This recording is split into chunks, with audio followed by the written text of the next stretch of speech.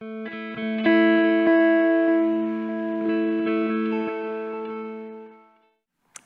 ready?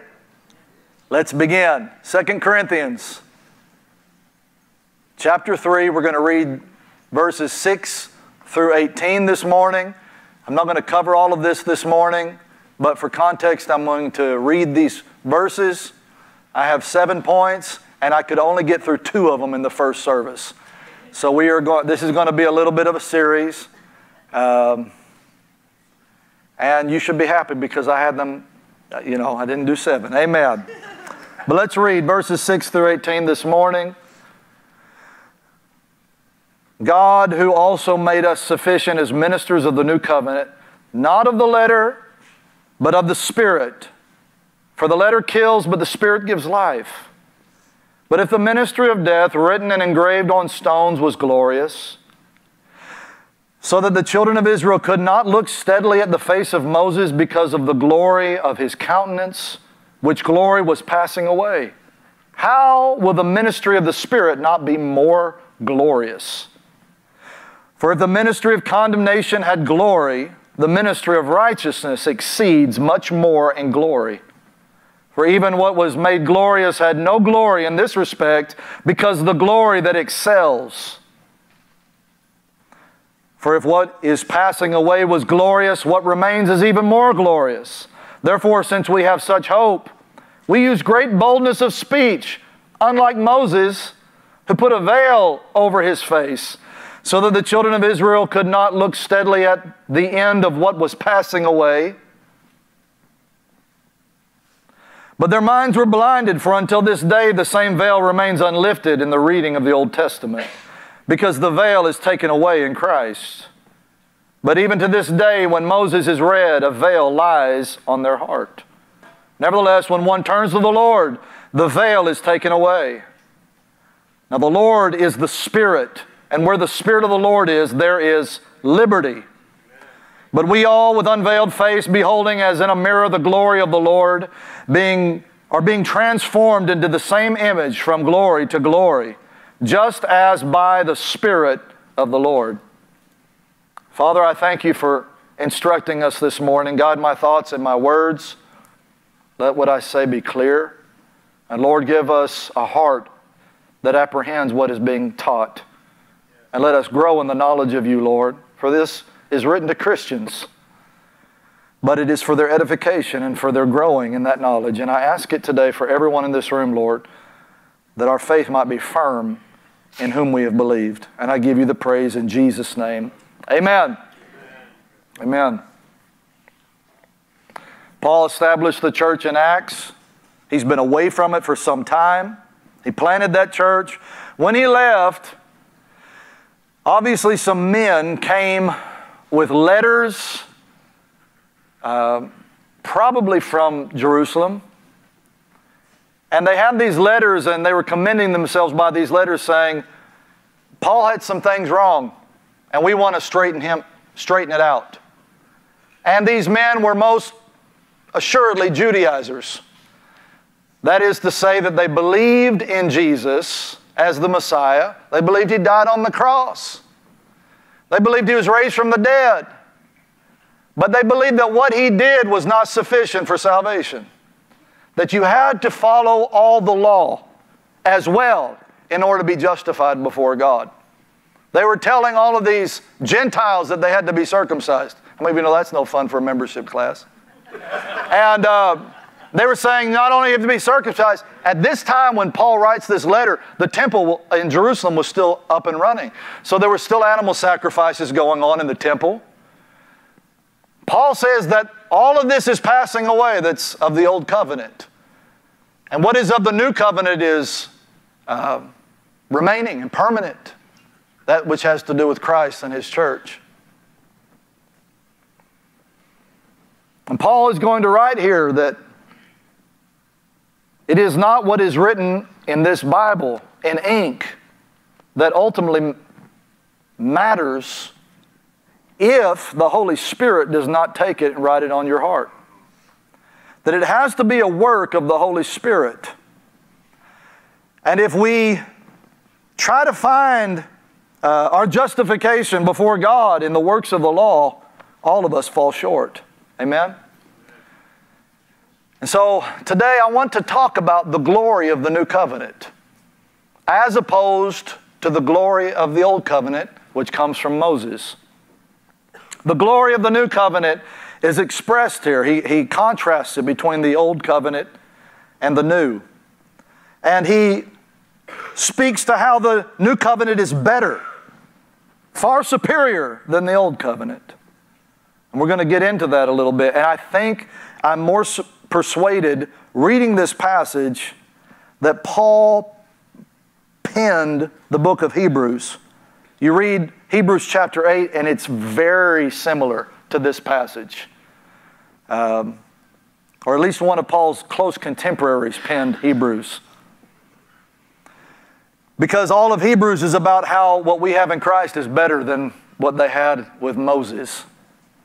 And so here he begins, and I want to start in verse 6. He says here, God has made us sufficient as ministers of the new covenant, not of the letter, but of the Spirit. For the letter kills, but the Spirit gives life. The letter kills, but the Spirit gives life. The first benefit of the new covenant is it's geared to give you life. It's geared to give you life. It is not geared to kill you. How many of you know religion kills? But what we have in Christ gives life. Jesus says the thief comes not but to still kill and destroy, but I have come that you might have life and have it more abundantly. The Bible says, Whoever believes in him shall not perish, but have everlasting life. We come to church because we have been promised life in Christ. This is not going to end poorly for us in death, but it ends in life. The old covenant was meant to kill and to slay and condemn because it was a covenant of works. And these Judaizers, they came into the church and they said, Yes, Jesus is the Messiah, but he's just here to re- reinforce what Moses said. The real lawgiver is Moses, not Jesus. Paul speaks of the new covenant here, though. And you've got to know a little bit of Jewish history in the Bible to know what he's talking about. I'm going to try to clarify today a little bit of that. But you go over to Jeremiah chapter 31, and in the writings of the law and the prophets, we see a prediction of more to come. That the old covenant isn't a closed covenant, but that there's more progressive revelation of who God is and what He's doing to come in Christ. Do you understand?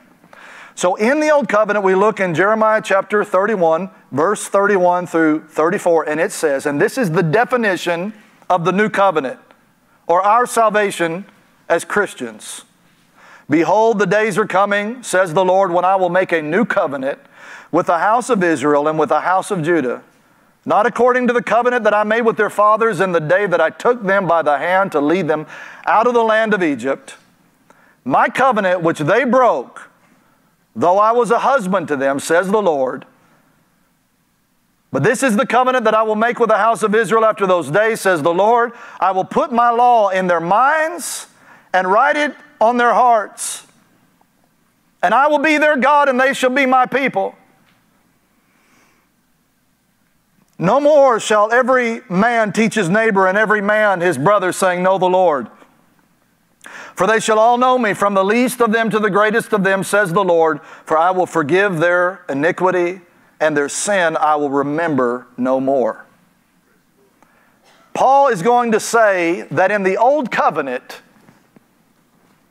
it was a good starting point, but there was more to come. And that, old, that the old covenant pointed to something more in, in the Messiah that was going to come, the new covenant.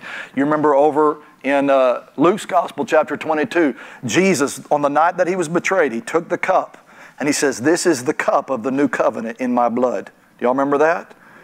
Jesus is assigning to himself the new covenant and what he did on the cross as the new covenant versus the old. The old covenant is good, it's the law. the Ten Commandments, and all that goes with it. But it is insufficient if it's not pointing us to a Savior. Jesus says in John chapter 5, verse 39, You search the scriptures, for in them you think you have eternal life, but these are which testify of me. Basically, what Paul's going to say is that everything in the Old Covenant is insufficient, falls flat on its face if it's not pointing to Jesus. And what he did, the Old Covenant diagnoses you as a sinner. It tells you not to covet, it tells you not to lie, it tells you not to steal, and then it leaves it with you. And what happens? You fall flat on your face, don't you? Because you're not perfect, are you? The Bible says if you Sin in one area of the law, you've broken the whole law. Did you know that you don't have to be a murderer, but you can do other stuff in order to be a bad guy?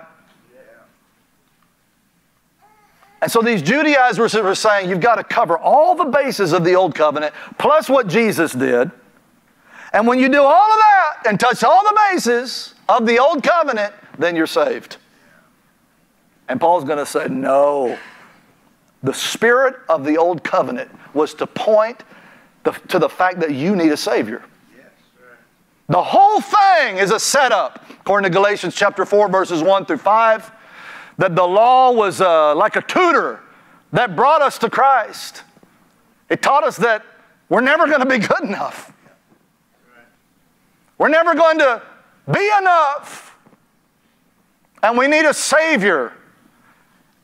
Christ is the light of the Bible. And every verse he says speaks of him. What these Judaizers had done is they'd closed the canon. And they said, Jesus is outside of the canon now. When I say canon, I mean the Bible.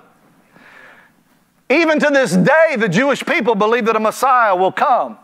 But they don't see all of the Old Testament pointing to the Messiah. They don't see all the types and shadows. They don't see the prophecies about the Messiah. They just see ceremonies that they've got to do in order to be Jewish. Don't eat ham. Uh, you know, celebrate these festivals, and we're Jewish. This is what makes us Jewish.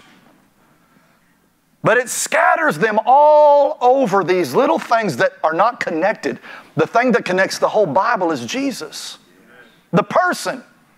And the work of Christ is pointed to throughout the Bible. How many of you know that's true? But if it's not pointing to Christ in the Old Testament, falls flat. And, and basically, what Paul is going to be saying here is that the whole law of Moses is just a door on the ground if it's not put on the hinge of Jesus Christ. The door doesn't swing without Him. Does, you understand? He's the reason for it. And it doesn't matter Old Testament or New Testament, it doesn't matter what part of the Bible, if it's not pointing you to a Savior, you're doing it wrong. If you think at any time ultimately that verse is pointing to you and not to him, then you're not reading it right. right. All of it finds its every command. That's why Augustine said, Give what you will. I'm sorry, ask what you will, but give what you will. Give what you ask. The empowerment to serve God well comes through our relationship with Jesus Christ. What the law does, uh, it's the law of death, the Bible says here, the ministry of death. What it does is it isolates you from God.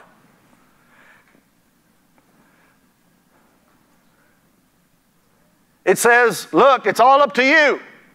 You got to be good enough or God won't like you. It's performance based.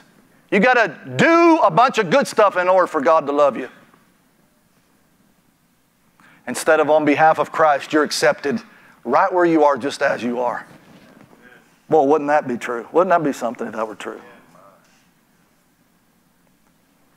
It, what the law does, if you put your works as what really does it at the end of the day and makes you justified before God, it makes the law the mediator between you and God. But when Jesus died on the cross, there was a great earthquake, and the veil was ripped from top to bottom, where we have access to God through what Jesus did on the cross. And we have a new mediator in Christ in the new covenant. We, the, the go between us and the presence of Almighty God is Jesus Himself, and not the do's and don'ts of better stick with it, better choose life and not death, or there'll be a bunch of consequences. That's all true. That's all good. But when it's all up to a sinner like you, how many of you know you're going to get isolated? Why? Because you can't keep up with God that way. You're going to peter out at some point because you cannot keep up with a holy God when it's all up to you ultimately.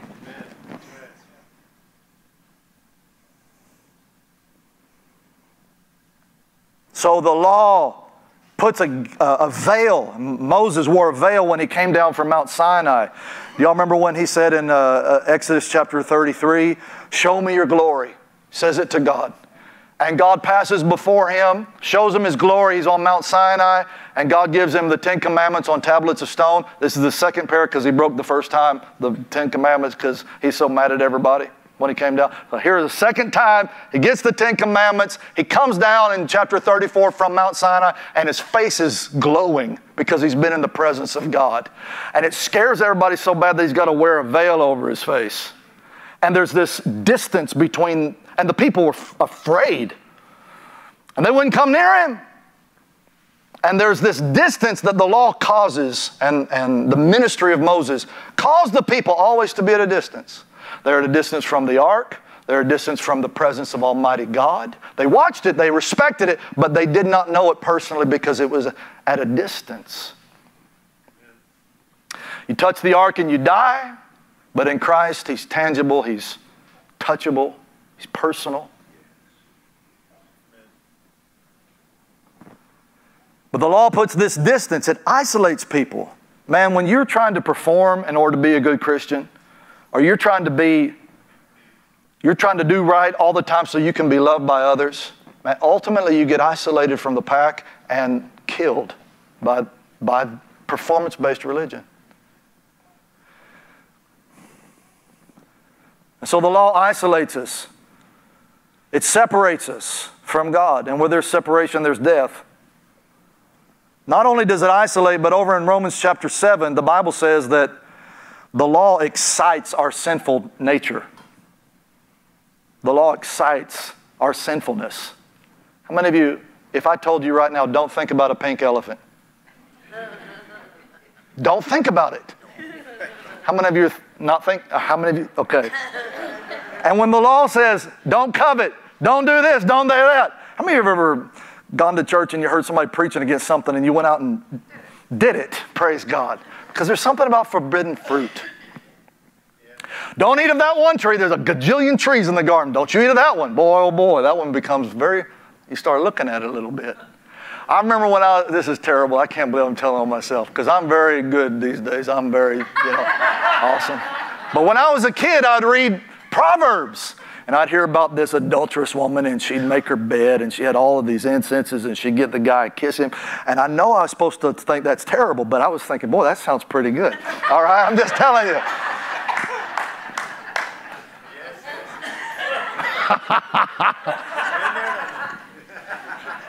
and Paul says, look, I was alive before the law came, but it slew me. It, it, uh, it killed me because it, it excited all of that stuff that I knew I wasn't supposed to do. It revealed to me that there is something inside of me that is sinful. It isolates, it excites, it, it exacerbates uh, the situation. It's like the law being a broom, going into a very dusty house, begins to dust, but you're knee deep in dust. And it just causes more problems than do you understand? That's the way it is with you. You're such a sinner. The law diagnoses you, but it leaves no hope. It leaves you with you. says, Good luck, Jack. And the problem is you're jacked up. Amen? And you need the medicine which is in Christ to your sinfulness. The law kills, it also enslaves. It enslaves you because you're always trying to be good enough and you live and are enslaved by the law. trying to get a hold of it, and always it's a cat and mouse game. Jesus came and said, Slaves don't stay in the house for long, but sons do, because whom the Son sets free is free indeed, and a son abides forever in the house. And there are a lot of people that come into church and they try to do, do, do to look good, performance, and they don't know the new covenant. The new covenant is Christ once and for all died for your sins. Praise God. And He is giving you life and not death. That comes through being good enough through your works. But you can be enslaved to sin and enslaved to condemnation without Christ. And I think the law just makes people mean. When you are about do gooding and works based religion, you're so busy touching all the bases that you, and you know that to, if you leave one of those bases untouched, you've broken the whole law. And so it turns into this legalism where you're thinking, boy, that one thing is going to disqualify me from heaven. Boy, can I preach to y'all today a little bit? Is this okay? This one little thing that I've done, boy. And so it's all about touching all the bases to the point where you don't know the weightier matters from the little things. And you become legalistic. And it becomes about what the preacher wears the church or doesn't, you know, doesn't have the right outfit or the right this or the right that.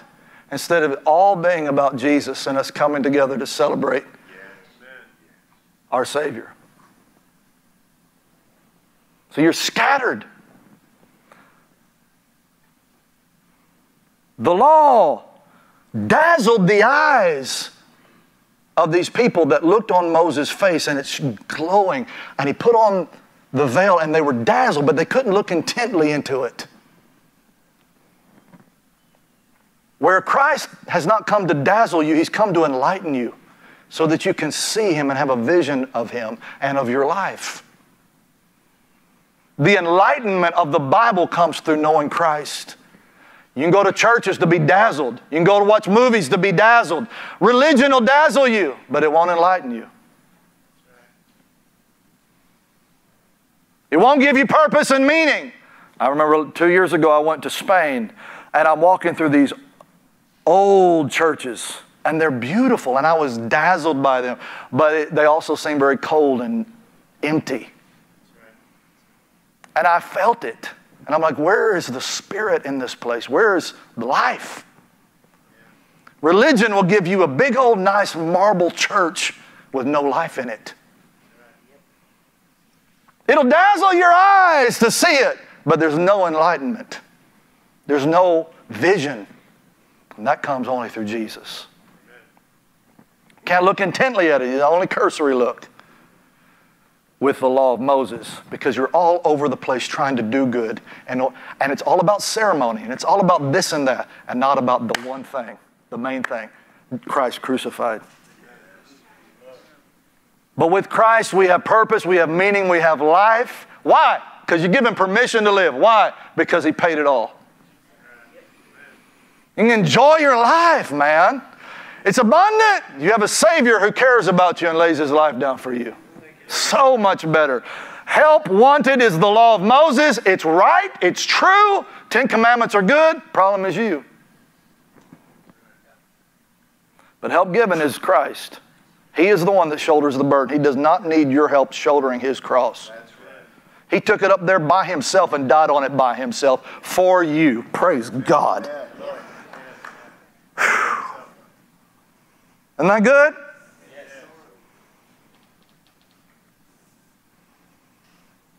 Boy, you can get so distracted, dazzled by religion.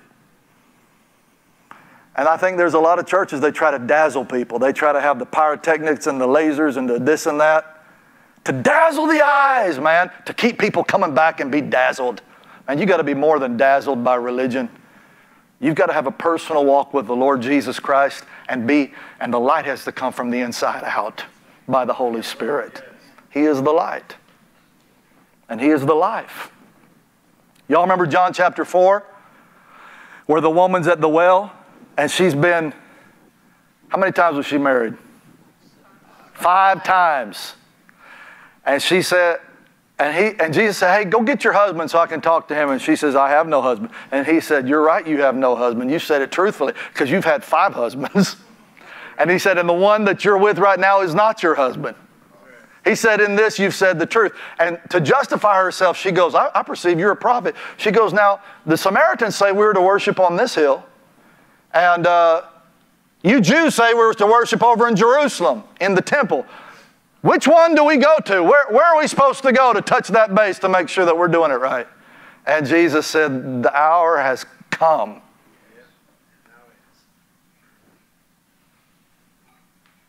For those that worship God will worship Him in spirit and in truth.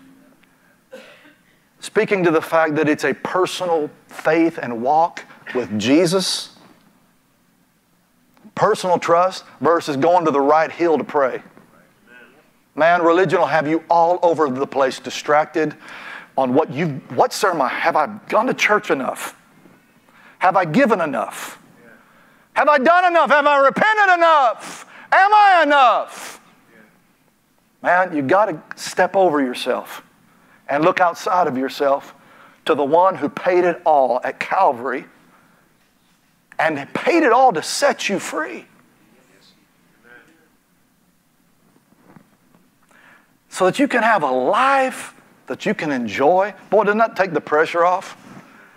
When your salvation is not based upon how many times you've been to church this year. Isn't that nice? Or how much better you are than so and so? Because I know you're not Hitler, but we're not comparing you to Hitler. We're comparing you to God. Okay? And you're only as good as what you're compared to. And when it comes to God, there is nobody that will, He will share His glory with he is perfect and you're not. And if you want a relationship with Him, there's always going to be this wall between you and Him when it comes to do gooding. Cannot get there. There are two ways to heaven, according to this passage. Paul says there's two ways to heaven, and that is through the law of Moses or through the new covenant of Jesus Christ. You're either going to get there through your good works, which y'all are all sorry, and there is none good, no, not one. Amen? All have fallen short of the glory of God. And if you don't feel like you have, keep stay here a little longer and I'll preach some more to you. Amen. Amen. But for the rest of us who've been married five times and the one we're living with is not our spouse, you tell that person to clean up their act, they're going to look at you like it's game over already. And then it turns into ceremony. Well, let's not look at my past and let's not look at how I'm doing. I'll just do some ceremonies and that'll justify me before God. I'll go to this right hill church instead of this wrong hill church. And that's going to do it for me. And you got people that come to church and in order to bury the problems that they came in with, they do little religious ceremonies on Sundays. They take communion, they say, Oh, I did my ceremony. I'm good. No, no, no, no, no. If it's not pointing to the finished work of Christ, if it points only to itself, it is just a thing, but not the main thing. It is there to scatter you, to dazzle you, and you walk away dull with a veil over your heart. Not seeing this book for what it is. This book is not about you. This book points only to Him.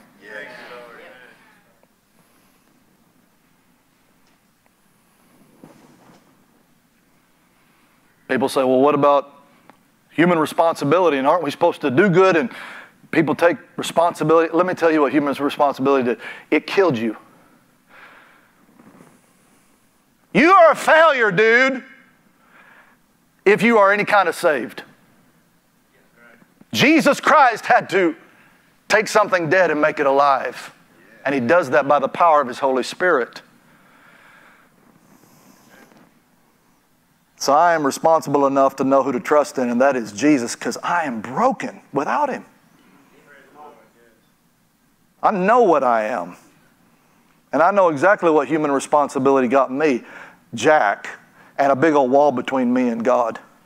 As long as it's isolating you and putting the whole thing on you, brothers and sisters, brothers and sisters, amen. But when it points to Him, praise the Lord, amen. So, number one, the law gives life where all the do gooding of the Bible will end in death if it's ultimately up to you and your good works. instead of Him and His finished work. Secondly,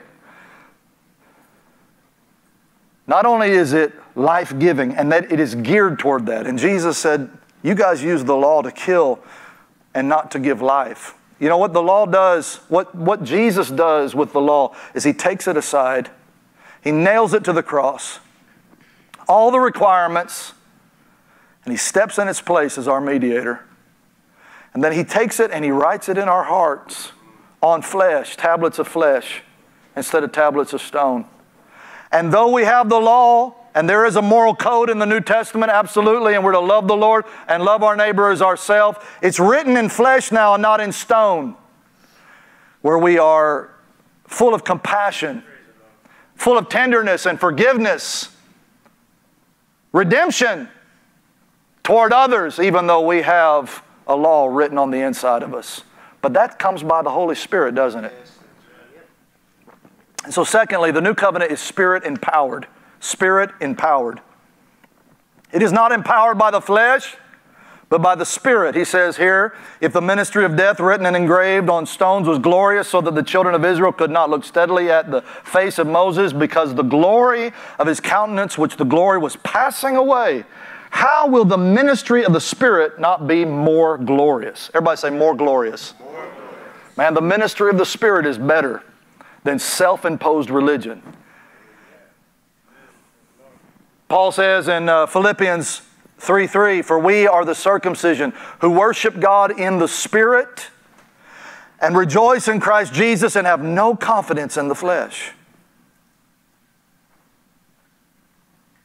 The new covenant is a work of the Spirit. He is the one that takes the ink off the page, and by His Spirit, He writes it in the hearts of men. The glory is greater because it's Christ in you, the hope of glory. Colossians 1:27.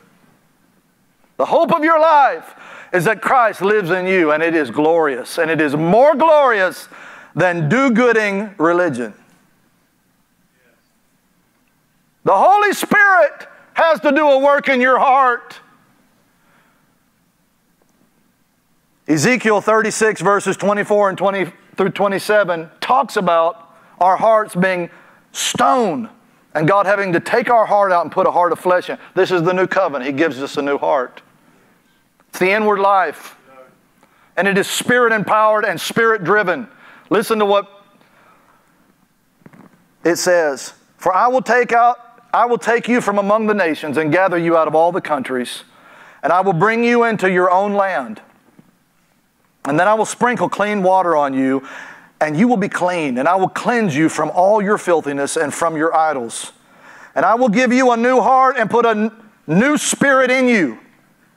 And I will take the heart of stone out of your flesh and give you a heart of flesh. And I will put my spirit in you and cause you to walk in my statutes. And you will keep my judgments and do them.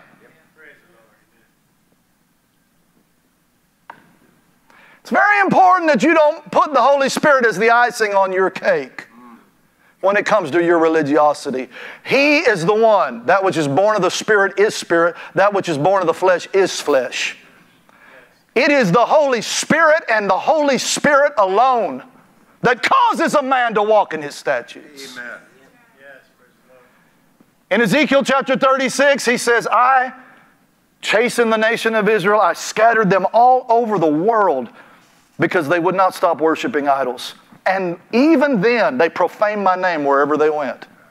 He said, Therefore, Israel, know that it is for my name's sake that I do this and not for yours. It's for my glory and not yours. I will gather you from the four corners of the earth, and I will put in you my spirit, and I'll pull out of your chest a heart of stone and put a heart of flesh in there. It's an operation of God, not of self imposed circumcision from the outside in. It's something that God has to do. And therefore, we trust in Him to do it and not in ourselves. Man, religion will tell you to turn over a new leaf. The new covenant says you must be born again. Some people, man, they think that they've done really good. And they take their good works like a pearl in their pocket to show everybody, look at my pearl. And they don't look at the bad stuff. And they think, oh, I haven't been that bad. But according to God, even your righteousness is as filthy rags because it's all done in pride. If it isn't of faith.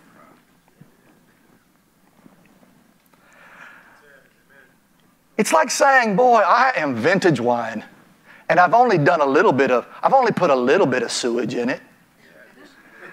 You know, you put a little bit of sewage in the best wine, it's ruined.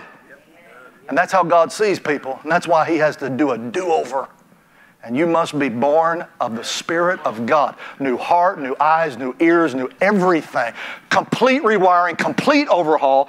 The law brings you to nothing and so introduces you to God. That's how it functions.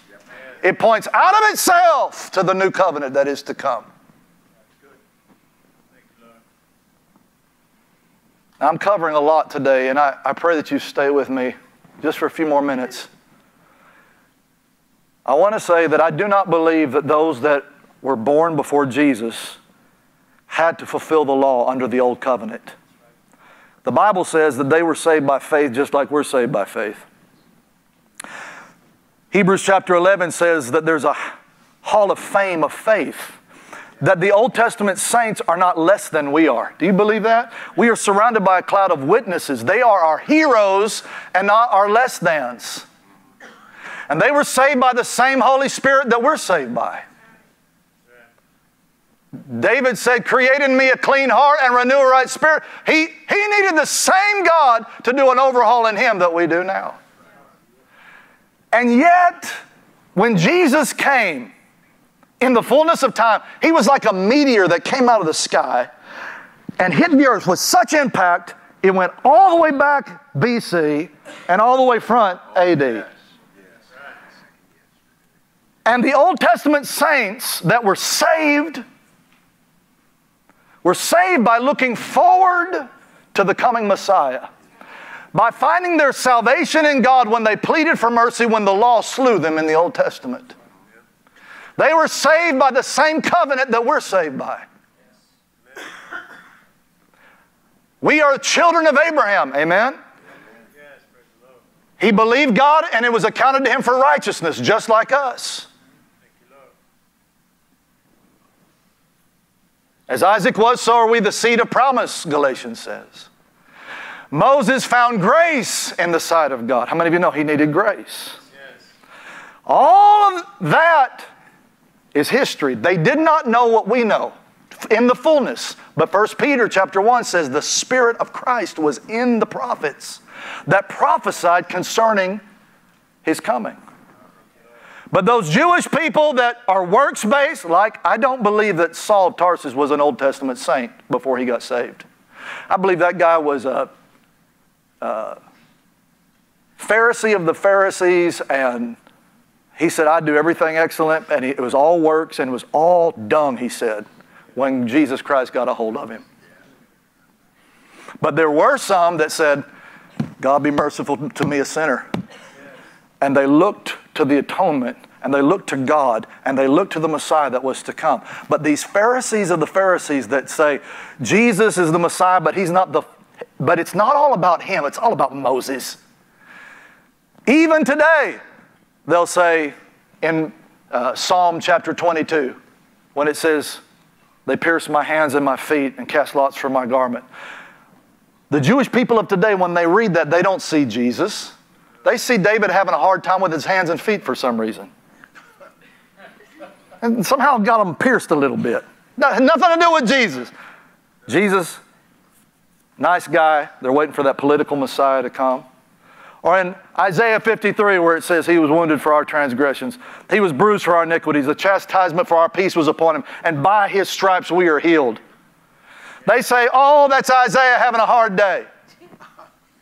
They don't see that pointing to something more in Christ that is to come, the new covenant. But as Christians, the reason why we talk so much about Jesus is because He is the linchpin, He is the hinge on which the whole of our, He is the strength in our weakness. He is everything. Everything points to the medicine, and the medicine is Jesus Christ. and His Spirit.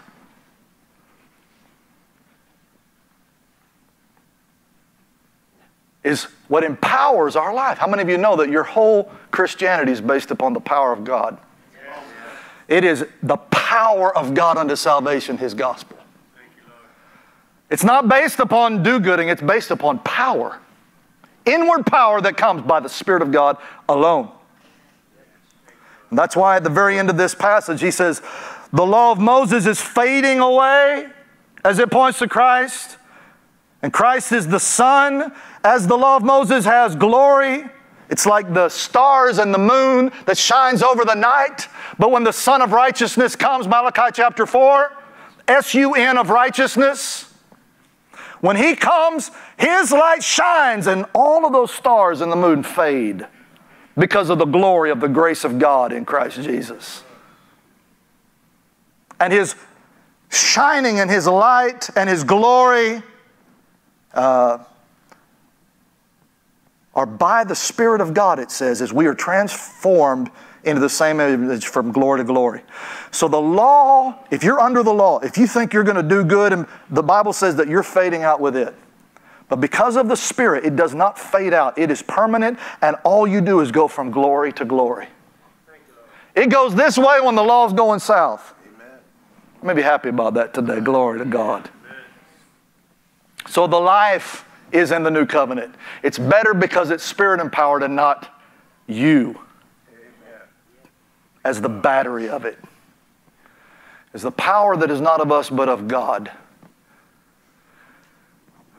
I'll give one more real quick and I'm done. Let me just run through them. The, law, the, the new covenant justifies us, whereas the law condemns us. We'll get into that next week.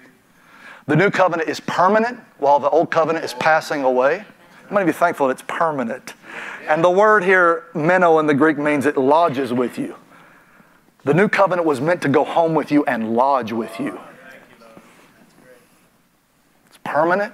The new covenant gives hope. He says, We have such hope because of, I might be thankful for hope because of Jesus. The new covenant gives you vision, whereas you're not blinded, but you have a vision for and a meaning for your life because of your walk with the Lord. And the new covenant gives freedom that sets you free from being a slave to being a son. And it's so much better, guys, than all the law keeping. And I want to encourage you listen, follow the law and obey the law, but it is not your daddy and it is not your mediator. It serves you, you don't serve it. It's not your master, Jesus is. So it's healthy to go to church, amen? It's healthy to give, it's healthy to do these things. You want to grow in health? Obey God. But all of that, ultimately, you look to Jesus for the power to do it, to do what God has written in your heart already by His Spirit. I'll just say this last thing because I, I get so excited about all this, and I'm, I know it's a lot to cover, but I like this. One last thing. When it says that we have the ministry of righteousness instead of the ministry of condemnation, that's the third point. Did you know that it says the ministry of righteousness in glory? Do you know that when Jesus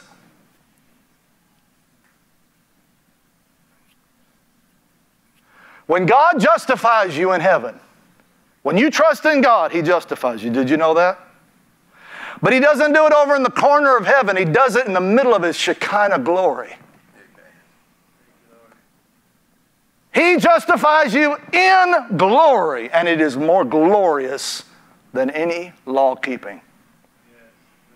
The reason that we believe in the justification by faith is because it singles out the work of Christ as the one thing that justifies. But when Jesus justified you, he didn't just justify you over and say, oh, footnote, he's a little bit justified. No, he did it in all of the glory that radiated off of Moses' face. All of that glory that was on his face and then faded away. This is where God justifies a sinner in his Shekinah. And the Bible says over in Romans chapter 8, whom he knew he predestined, whom he predestined he called, whom he called he justified, and whom he justified he did what? He glorified. Doesn't say whom he justified, some of them he will glorify. It's all in the aorist tense in the past. Foreknew, predestined, called, justified, glorified. It's all in the past. And your justification is not in how many times you go to church. Your justification is not in today, it's in your past. And so is your glorification. It's all attached to the glory of God in His glory and unto glory. And from glory to glory. You may be experiencing a little bit of His glory right now, more glory is to come. Let me be glad that the new covenant is more glorious than the old covenant, including the righteousness of you that was judicially declared by the living God in the midst of angels crying, holy, holy.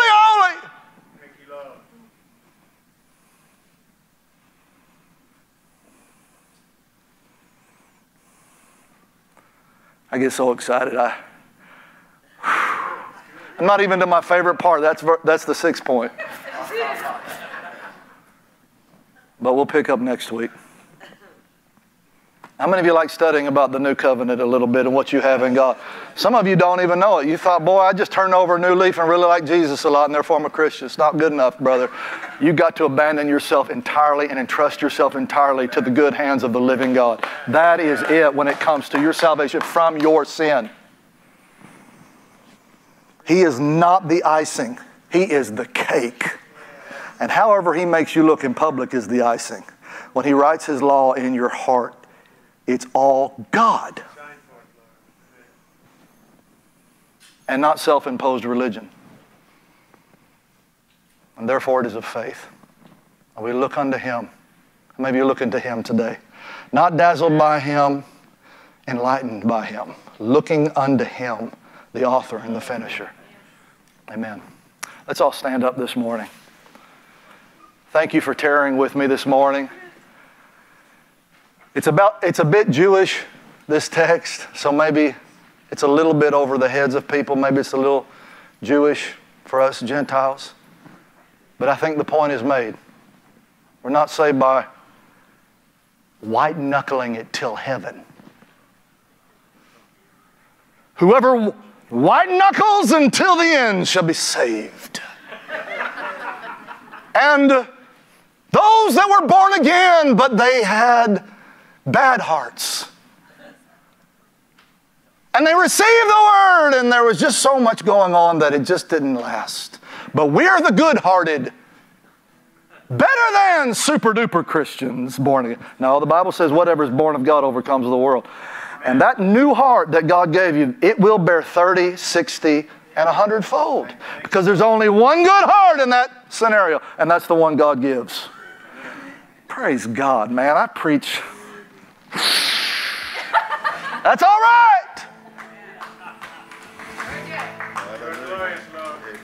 You trust in God a little bit, but you got to get to church and you got to go do some sacraments and you got to uh, pray to this saint and you got to go over here and run over here and you got to be dazzled by Rome and you got to do all this other stuff and be and take pilgrimage and all this stuff. No! You want to know the glory of Christ? The Word of God was made flesh and dwelt among us and we beheld his glory. Even the glory as of the only begotten Son of the Father, full of grace and truth. The glory of Christianity versus the glory that dazzles is in his familiarity. It's in his, it is in how personal this is, how approachable this is how much access you have, who you are because of Him. The glory of Christ is in how personal it is to you. We beheld Him, we held Him with our hands. That's the glory that excels the glory that shone off of Moses' face. It's personal, He's approachable. And in Matthew chapter 17, his face, when he was transfigured, shone like the sun, and Moses turned to him to watch it burn. We got to keep turning our religion. All that we do every day, keep turning it to Christ and saying, Thank you, Jesus. Everything I do is out of praise for what you've already done in the Shekinah over my life because of Jesus Christ. Wouldn't it be something if we were that blood bought? Glory to God. And we were His kids. And, we, and it doesn't come down to our knuckles being white but comes down to the Spirit of God, as by the Spirit.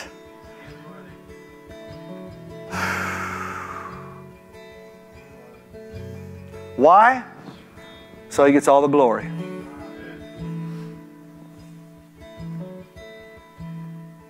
We'll talk more about the new covenant next week. Let's, let's say a prayer.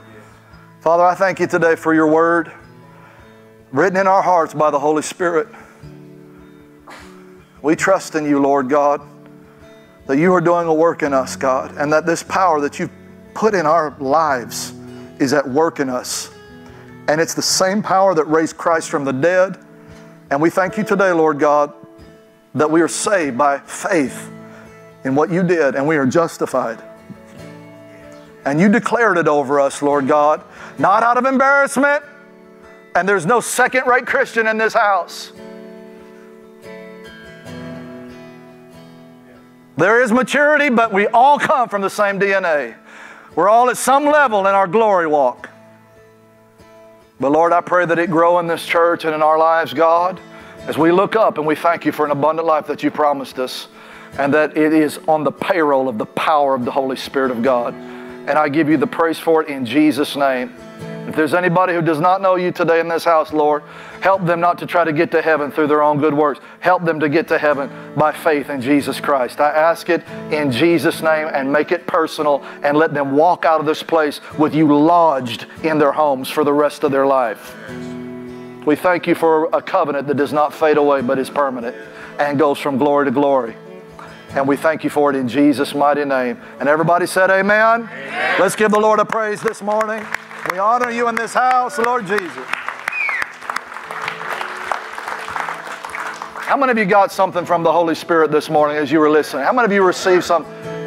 How many of you are growing a little bit as you're listening to this? You're growing. Folks, bring your friends, bring them here.